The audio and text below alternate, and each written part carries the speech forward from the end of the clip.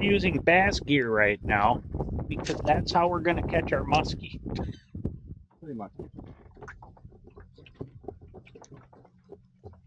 Got him? Almost.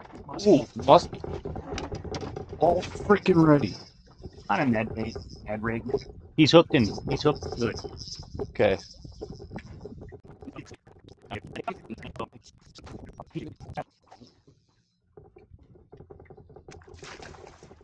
Oh yeah. Loaded. About thirty. Yeah, maybe.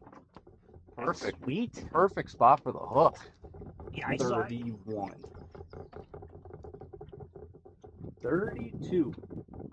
All right, quick picture down.